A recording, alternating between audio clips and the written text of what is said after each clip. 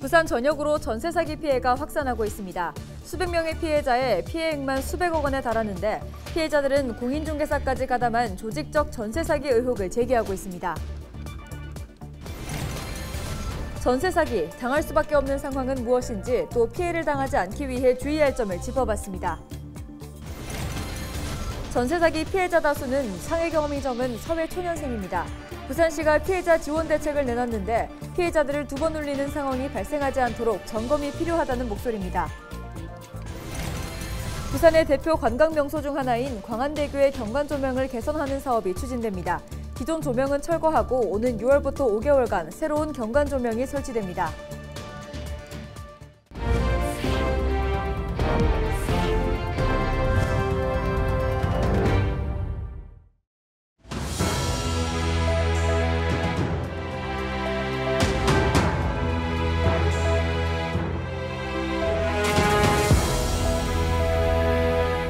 시청자 여러분 안녕하십니까? 헬로티비 부산 뉴스입니다.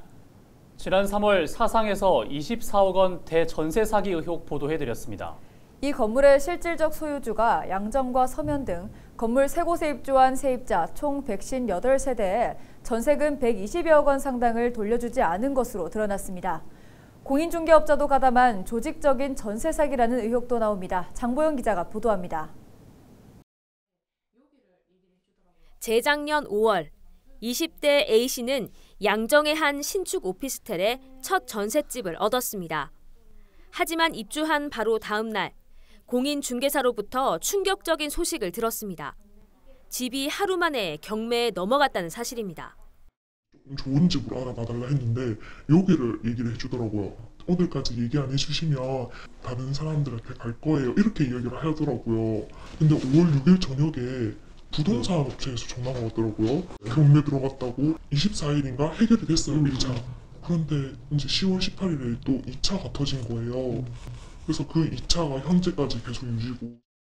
총 69세대의 전세 보증금은 60여억 원 상당. 세입자들은 해당 건물을 담보로 한 은행 대출금이 채권 최고액 기준 68억 4천만 원인데 이는 보증금 총액인 60억 원보다 많은 전형적인 깡통 전세라며 경매로 넘어갈 경우 세입자가 받을 수 있는 보증금은 없는 것이나 다름없다고 호소합니다. 또 임대인이 해결하겠다는 말만 반복할 뿐 지난해 말부터는 건물 유지 보수에도 손을 놓았다며 건물 관리를 세입자들이 도맡아 하는 현실이라 토로합니다. 단수 단정되기 직전에 저희한테 어, 더 이상 관리비를 그 집주인 쪽에서 어, 납부를 한다든지 해결할 수 없다. 이 건물 해결하겠다라고 하는 거와 완전히 상반되는 거죠. 이렇게 건물이 무너지고 했을 때 보수공사가 안 된다고 하는 거예요. 공사 시공 업체한테 돈을 지급을 안 해서 하기가 불가하다. 서면의 한 오피스텔도 상황은 비슷합니다. 우편함에는 법원에서 온 등기 딱지가 곳곳에 붙어 있습니다. 지난해 10월 초 집이 경매에 넘어간 이후 세입자 49세대는 전세 보증금 39억 원을 돌려받기 위해 민형사 소송을 진행하고 있습니다. 뒤늦게 건물의 실소유주가 따로 있다는 걸 알게 되면서 실소유주와 현재 임대인 등 관련자 모두에게 소송을 걸었습니다. 피고인을 명의상 임대인이랑 실소유주 그리고 관리인이랑 중개보조원들을 상대로 이제 다 한꺼번에 소송을 묶어서 한 경우고요. 근데 저희 형사소송은 단체로 진행 중에 있고요. 민사소송도 마찬가지로 이 두 오피스텔의 실질적인 소유주는 한 사람. 조직적인 전세 사기 의혹도 제기됐습니다. 서면 오피스텔의 공인 중개를 도맡아 했던 사람이 실소유주와 지인이라는 제보입니다. 소문만 들었지 그리고 본인은 절대 아니라고 했었거든요. 근데 이후에는 확실히 알게 되신 거예요? 어 확실히 알게 됐죠. 뭐 해야 될까? 적극적으로 그러니까 중개를 했다고 하던데 그거는 맞죠? 네.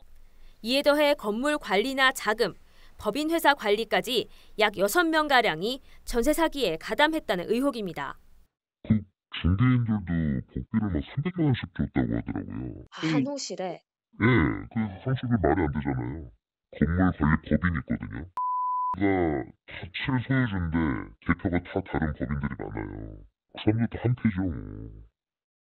부산의 전세 사기 피해자들이 공동 대응하겠다는 의지를 보인 가운데 경찰은 반부패 수사대에서 해당 사건을 수사 중이라 밝혔습니다. 헬로티비 뉴스 장보영입니다. 끊임없이 터져나오는 전세 사기, 왜 당할 수밖에 없는 구조인지, 안전장치는 없는지 부동산 전문 변호사에게 물어봤습니다. 안수민 기자가 보도합니다. 특히 빌라에서 많이 발생하는 전세 사기. 당할 수밖에 없는 첫 번째 이유는 시세 파악이 어려운 구조입니다. 아파트의 경우에는 KB 부동산 시세라는 공신력 있는 사이트가 있어서 거기에서 미리 시세를 확인할 수 있는, 확인할 수 있는 반면에 빌라는 공신력 있는 사이트가 없어서 실제 시세를 확인할 수가 없습니다. 만약에 세입자가 전세 계약을 체결하기 전에 매매가랑 평균 전세가를 미리 확인할 수 있으면 아 이게 깡통 전세가 될 것이다 안될 것이다라는 미리 예견을 할 수 있는데 세입자가 주인이 바뀐 걸 알 수 없는 것도 문제입니다. 전세 계약 깡통 전세 계약을 체결한 후에 자력이 없는 바지 명의자에게 이 소유권을 넘기게 됩니다. 근데 여기서 문제는 그 건축주는 세입자에게 자기가 매매를 한다는 사실을 고지할 할 의무가 전혀 없기 때문에 세입자 입장에서는 추후에 갑작스럽게 자기가 살고 있는 빌라가 경매가 되거나 아니면 전세 계약이 만료되고 보증금 반환을 요청을 했을 때 그때서야 아 내가 지금 깡통 전세 사기를 당했구나 라고밖에 알 수가 없습니다. 법제도의 개선이 시급한 이유입니다. 입법을 통해서 이제 임대인이 전세 계약 기간 동안에 매매를 하게 된다면 매매를 하게 된다면 세입자에게 매매를 할 것이다라는 것을 고지를 하고 세입자 입장에서는 그 고지를 받고 나서 내가 전세 계약을 계속 유지를 할지 아니면 자력이 있는 그 전 임대인에게 보증금을 반환을 받고 나가겠다라고 할수 있는 그런 이제 해지 를 할 수 있도록 하는 권리를 부여하는 피해를 당하지 않으려면 우선 발품을 팔아 정확한 시세부터 확인해야 합니다. 아무래도 세입자분들은 구축보다는 조금 신축을 성향 어, 선호하는 경향이 있는데 신축이라는 특성으로 인해서 주변의 전세 시세보다 조금 더 높더라도 아, 신축이니까 깨끗하고 시설이 좋으니까 라고 생각을 하시고 전세 계약을 체결하시는 경우가 많습니다. 일단은 먼저 주변에 있는 공인중개사 사무실을 좀 발품을 많이 파셔가지고 내가 계약하려고 하는 그 전세 계약의 전세가가 주변 신축 빌라 비교했을 때 평균이 되는지를 꼭 먼저 확인해 보셔야 되고 종종 신축 빌라라서 주변이 보다는 시세가 조금 비싸니 내가 뭐 이자 전세 대출 이자를 조금 지원해 주겠다라고 하는 건축주 또는 공인중개 사무소의 중개 보조원들이 있습니다. 이럴 경우에는 차라리 계약을 안 하시고 피하시는 게 가장 좋습니다. 전형적인 깡통 전세 사기의 수법이기 때문에. 계약을 체결할 때도 대리인보다는 임대인이나 건축주를 직접 만나는 것이 좋습니다. 신축 빌라의 경우에는 종종 건축주가 직접 오지 않고 위임장 을 받은 위임이 오는 경우가 되게 많습니다. 이럴 경우에는 반드시 본인하고도 통화를 꼭 해보셔야 됩니다. 위임장을 가지고 온다는 것 자체는 건축주가 어, 다른 마음이 있을 수도 있다라고 충분히 생각을 해보셔도 되고 실제 어, 깡통전세 사기가 발생하는 경우에는 위임이 오는 경우가 대부분이었습니다. 특약을 활용해 안전장치를 마련하는 것도 중요합니다. 근저당이 잡혀 있는 집의 경우 특약으로 말소를 명시하고 집주인이 바뀌는 경우를 대비해 임차인의 동의를 얻어야 한다는 내용, 계약 해지 혹은 보증금 반환 등의 내용을 넣을 수 있습니다. 헬로티비 뉴스 안수민입니다. 전세 사기로 보증금을 돌려받지 못한 사회초년생 등 피해자들의 안타까운 사연 참 마음이 아픕니다. 차선영 기자와 수도권에 이어 부산에서도 왜 이런 상황이 벌어지고 있는지 어떤 대책이 있을지 이야기 나눠보겠습니다. 차선영 기자 안녕하십니까? 네, 차선영 기자, 전세 보증금을 돌려받지 못한 사례가 늘고 있다고요? 네, 그렇습니다. 부산시는 현재 부산의 전세 사기 피해 건물은 6개 동 228세대라고 밝혔는데요. 사실 이제 시작일 수 있다는 위기감이 큰 상황입니다. 이 조직적으로 전세 사기 행각을 벌인 경우를 포함해서 이 소위 갭 투자라고 하죠. 이 전세를 끼고 집을 산 임대인이 이 부동산 경기 침체로 집이 팔리지 않아서 이 보증금을 돌려줄 돈이 없어지게 된 경우가 상당할 것으로 보입니다. 네. 부산시가 선제적으로 전세 사기를 예방하고 피해자는 지원하겠다고 대책을 발표했다고요? 네, 부산시에서는 전세 사기 피해 실태를 이 전수 조사에서 선제적으로 법률 서비스를 지원하고 이 전세 사기 예방과 감시 기능을 강화할 계획입니다. 또 부동산 중개, 거래 시 모든 전세 사기 위험 상황에 대해서 공인 중개사가 의무적으로 세입자에게 고지하도록 하고 이행하지 않을 때 제재하는 방안을 마련할 계획입니다. 전세 피해 확인서를 받은 피해자를 대상으로 지원 대책도 내놨는데요. 전세자금 대출 이자를 2년간 전액 지원하고 경매 등으로 이사가 불가피한 피해자에게 공공임대주택에 거주할 수 있도록 하거나 민간 주택으로 이사할 경우 2년간 월 40만 원 월세를 지원하는 등의 계획을 밝혔습니다. 이와 함께 전세 사기 피해 지원센터 기능을 확대할 예정입니다. 네, 그런데 이러한 대책들이 얼마나 실효성이 있을까요? 네, 우선 이 피해 지원을 받기 위해서 이 피해 확인이 필요한데 입증이 쉽지 않습니다. 임대인이 갚을 능력이 있는 사람이라는 점, 계약 당시부터 사기 행각을 벌이기 위한 불손한 의도가 있는지 입증이 쉽지 않은 겁니다. 이런 이유로 이 전세 사기 피해 지원센터 역시 피해자에게 큰 도움이 되지 못하는 듯합니다. 저희 취재진의 이 피해자들이 호소한 내용을 보면 어렵게 지원센터를 찾아갔지만 제대로 된 상담을 받지 못했다. 또 경찰이 수사 중인 건물로 경매에 넘어갔고 임대인과 연락이 닿지 않는다고 피해를 호소했지만 건물이 낙찰되지 않아서 당장 피해 지원은 어렵다는 답변을 들었다는 겁니다. 네, 정말 안타까운 거는 이 전세 사기 피해자 다수가 사회 초년생으로 사회 경험이 적어서 이 지푸라기라도 잡고 싶은 심정으로 센터를 찾아갔을 텐데 네. 정말 안타까운 것 같습니다. 실제 전세 사기 피해자들을 위한 대책 어떤 부분이 필요할까요?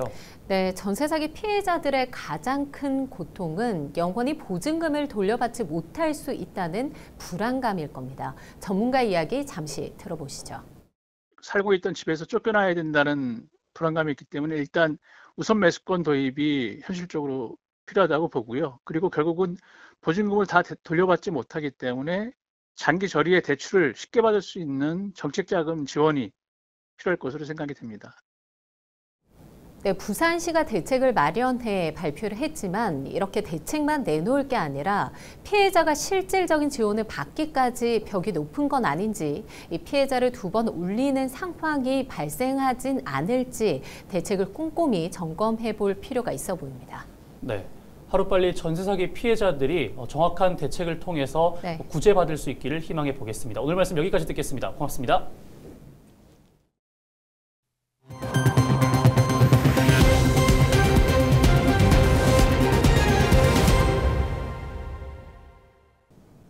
부산의 대표 관광 명소 중 하나인 광안대교의 경관 조명을 개선하는 사업이 추진됩니다.